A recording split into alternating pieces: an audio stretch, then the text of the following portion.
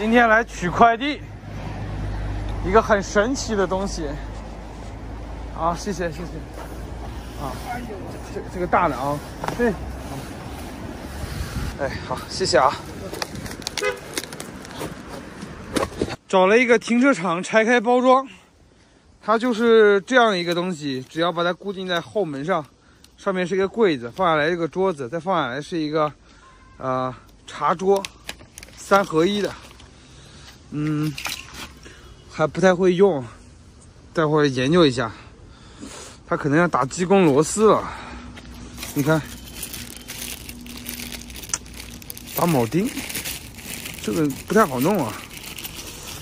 研究一下，还好这个东西发过来它是组装好的，我给大家看一下啊。小空间就要大拓展，这个其实是一个桌腿，放在这里可以做一个餐台嘛，铺一张嗯，呃桌布什么的。然后到里面呢折开，啊，那我装反了，到里面折开要要这样，这样。然后翻下来就是卡桌，哎，就这样。然后这里面是一个隔断，这个这个柜子里还是打了隔断的，这样把它隔起来，可以根据你的储物的需求把它分成隔断。对，就是这样。哎，可以放很多东西，空间需要利用啊。我来研究一下啊，我怎么把它上墙呢？上墙就比较麻烦。这个是锁扣，锁扣就起到，这螺丝好像小了一点。那怎么锁呢？对，然后这样啊，翻起来到这儿，咔，咔，给它扣上。对，这样就扣上了。哎。它就锁上了。好嘞，幺四二零上孔位在这儿，也就是说要到到这幺四二零上口位。这一上午啥也没干，全弄塌了，好费劲。来试一下整体的效果啊，蛮结实的。我来给大家演示一下这东西怎么操作的啊。啊，打开柜门，下拉，记得要下拉啊，下拉把这腿拉出来。OK，好的，把这扣子松开，这样它就是一个。桌子了，就打个电脑啊，吃个饭呐。这个阳台放下去，它可以在上面，在这上面吃饭，就是在这一面吃饭，铺一张呃台布就可以了。呃，另外呢，里面也是很多储物空间，它并不影响这张床的上下。这张床降下来是没有问题的。嗯，七百二是刚好的，刚才量过了。我现在来放一下床试试。现在放床，呃，因为算过七百二和我的柜子也是七百，我的柜子是七百二十五，两个人是刚好的，所以一点都不冲突。现在放下来，大家看啊，全部都是平行的，没有一点点影响。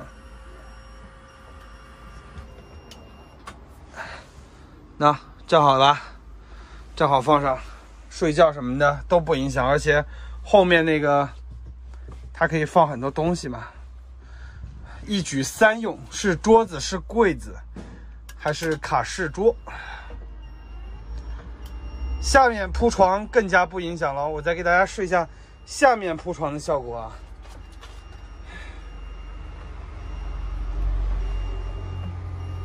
这东西，嗯，哎，我的天呐！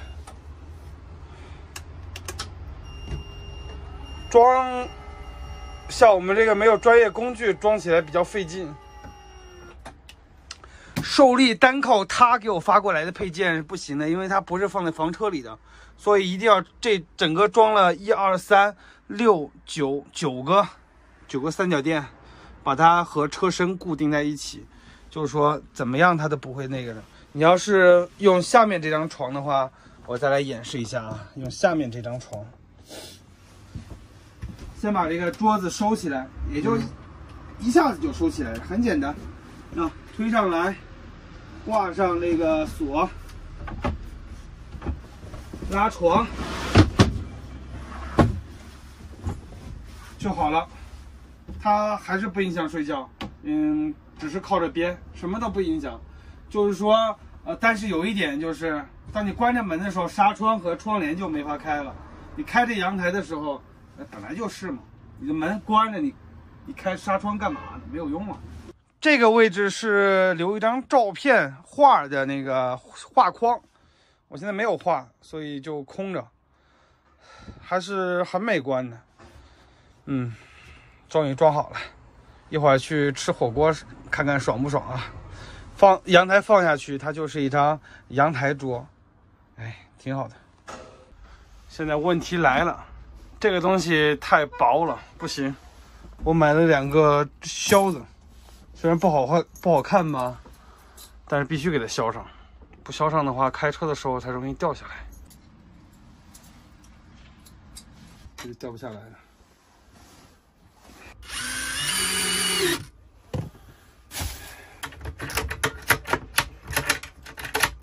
OK，一张完美的桌子定好了。每次开的时候，把这个插销拔开，这里还有一个插销。然后拔下面，哎，它就下来了。哎，下来之后里面可以放东西的，主要是，嗯，星空五二零的储物空间大了，储物空间大了。然后有一张固定可以吃火锅的桌子，可以办公打电脑的地方了，完美的解决了卡座的问题。今天这个视频发了之后呢，那些已经有星空五二零房车的朋友，请。尽快与我联系啊！七哥教你怎么回去装这个东西。呃，两千八百八是实木的。嗯，我就做个演示啊。这个是呃四百五百块钱，这个五百块钱，这个算是便宜的。好的那种是实木的那种贵，两千两千多呢。前两天视频你们看的那个，那两千多呢，这个五百。好了，这里可以贴幅画，是吧？贴张照片什么的，哎，可以。